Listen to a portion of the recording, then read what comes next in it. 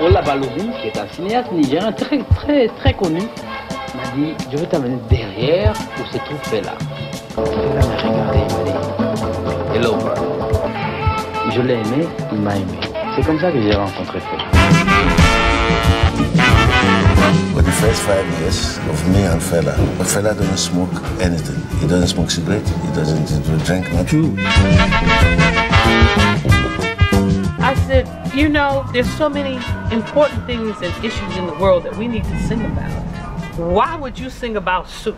They take our people and spoil our towns. And he said, when I finished reading Malcolm X autobiography, which you gave, and that book impacted on him so heavily, he told me he started to weep.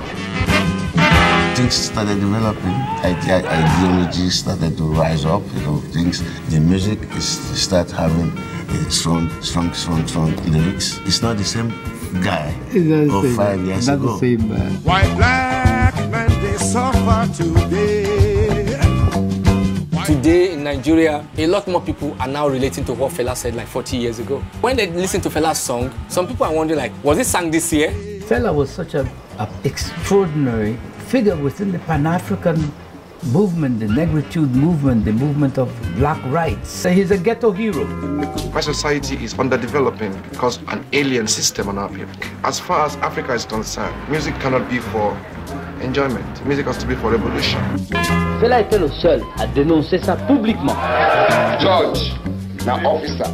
Ici, les juges sont des militaires. Les avocats, des militaires.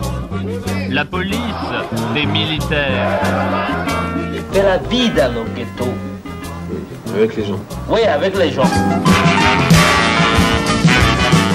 Hey, fella, yourself, don't talk truth again. And I tell them, I say, the truth can never die.